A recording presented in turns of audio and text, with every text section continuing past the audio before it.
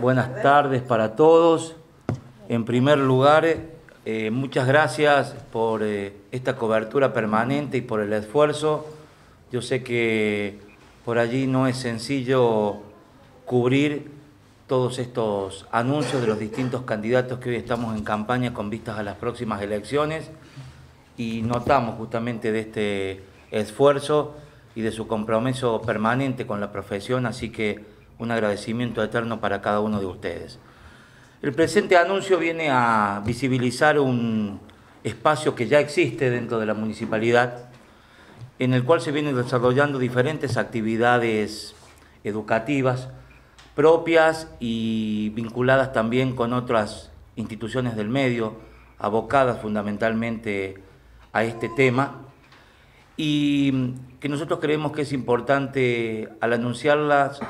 eh, reconocer de una manera eh, este eh, importante tarea, pero al mismo tiempo jerarquizarlo este espacio por la importancia que tiene la educación, no solamente en el crecimiento individual, sino en el crecimiento de una sociedad fundamentalmente que se transforma y que esa la transformación de esa realidad necesita indudablemente un acompañamiento fundamentalmente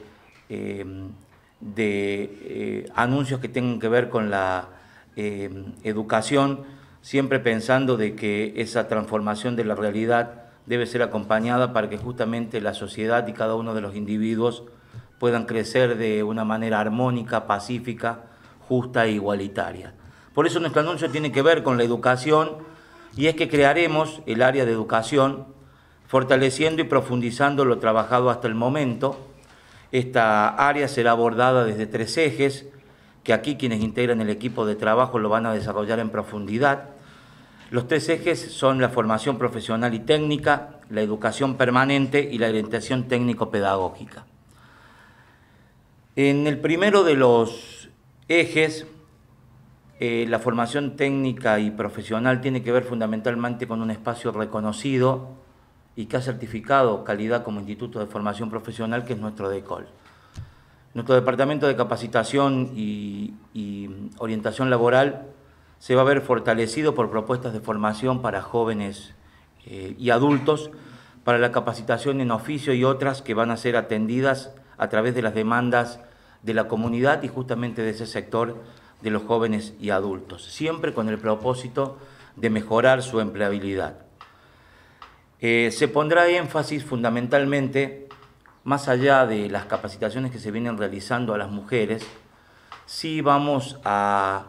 em, eh, utilizar la figura del relacionador como una manera de fortalecer este vínculo que tenemos con el sector privado en sus diferentes rubros,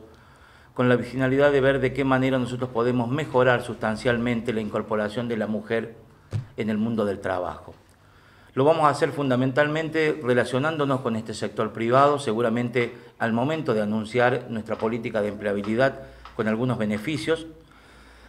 También lo vamos a hacer eh, relacionándonos fuertemente con eh,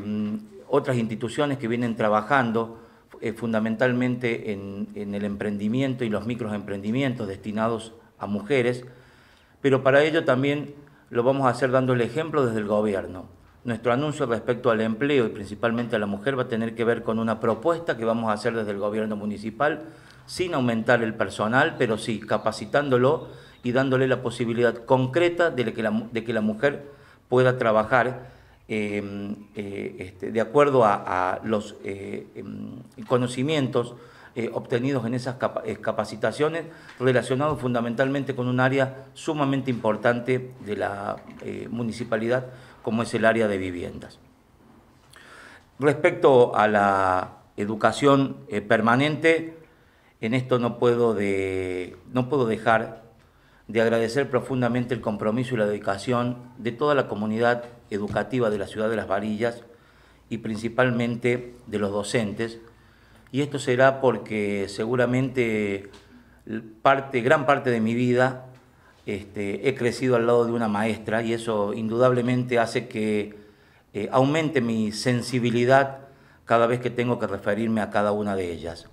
Nosotros hemos eh, participado activamente en la organización de seminarios eh, y talleres, no para capacitar al docente, porque todos los docentes de nuestra ciudad están suficientemente capacitados, pero sí para fortalecerlos, porque sabemos que los desafíos que se presentan a diario van cambiando a medida que también este, se va transformando y va cambiando esta realidad. Somos capaces de hacerlo y por eso les voy a pedir que me acompañen y estoy en condiciones de anunciar que la ciudad de Las Varillas va a ser sede de un Congreso de Educación. Em, Las Varillas va a continuar abriéndose a la región a través de la feria educativa como una manera de mostrar nuestro potencial educativo, que no solamente es reconocido a nivel local, sino también a nivel regional. Esto que tiene que ver no con una competencia en educación, sino justamente con una unión. La posibilidad de que cada uno de, los, de las escuelas, colegios o institutos que tengan para ofrecer estudios complementarios en el nivel superior, este, universitario y no universitario, reunidos en un mismo espacio físico, puedan ofrecer no solamente a los alumnos que están a punto de egresar, sino también a los docentes y a la ciudadanía en su conjunto, todo el abanico de la oferta educativa amplia y rica que tenemos para ofrecer. Eh, nosotros decimos que nuestros espacios son de escucha permanente. Por eso cuando hacía referencia al primer eje, que tiene que ver con la formación profesional y la técnica, los resultados de una de las encuestas han tenido que ver justamente con los espacios destinados a las capacitaciones, tanto teóricas como prácticas. Es por eso que desde, desde mi primer día de gestión voy a iniciar las gestiones ante los organismos que correspondan para que el DECOL tenga su propio edificio. Eso va a garantizar no solamente la comodidad, sino un espacio de convivencia permanente donde se van a poder dictar no solamente los cursos eh, eh, de manera teórica y práctica, sino donde también va a poder funcionar la administración para que ese espacio no solamente sea un espacio de convivencia entre profesores y alumnos, sino también del que puedan participar quienes hoy integran el equipo profesional del DECOL. Así que, habiendo este, eh, hecho estos anuncios en, este, de una manera general, quiero antes de cederle la, palabra a quienes integran este eh, eh, equipo de trabajo, reafirmar nuestros vínculos con todos los organismos con los que hoy venimos trabajando en conjunto. Esto es Ministerio de Trabajo de la Nación, Ministerio de Educación, eh, INTA, INTI, para que juntos podamos ir implementando, anunciando e implementando nuevas propuestas de formación profesional tecnicaturas o trayectos de perfeccionamiento. Y por supuesto que vamos a mantener lo que venimos haciendo hasta el momento, que es de que todas aquellas personas que decidan continuar con sus estudios complementarios en el nivel superior, universitario o no, puedan tener acceso, previo informe socioeconómico, a una beca que les permita no interrumpir sus estudios, sino al contrario, continuarlo. Esto lo vamos a hacer como lo venimos haciendo, también con, algún, con los alumnos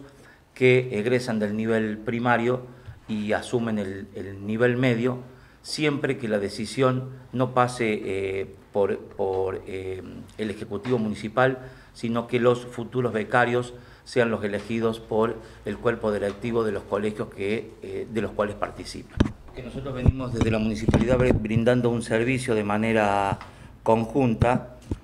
eh, por convenio marco firmado con el Ministerio de Educación que tiene que ver con el servicio de orientación vocacional. Esto está orientado a los alumnos del último año del nivel medio y que tiene como finalidad ser una guía o una ayuda para, para, que todos aquellos jóvenes, hombres y mujeres que quieran continuar sus, estudios una vez egresados del nivel medio,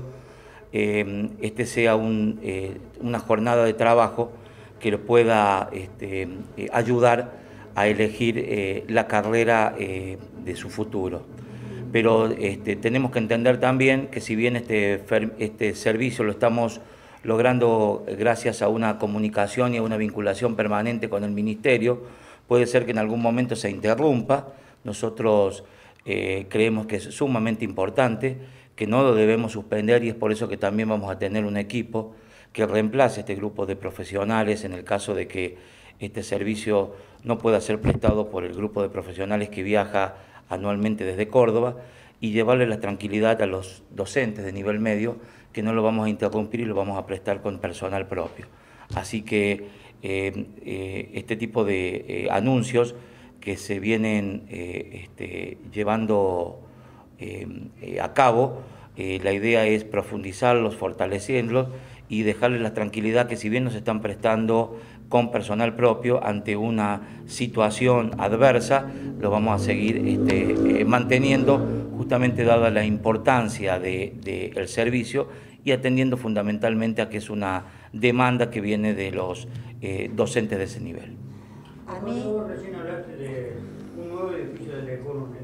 un, espacio físico. ¿Está contemplado el lugar donde se va a hacer? No, eh, no está contemplado el lugar, hay algunas posibilidades. De todas maneras tengo que dejar bien claro, y ustedes saben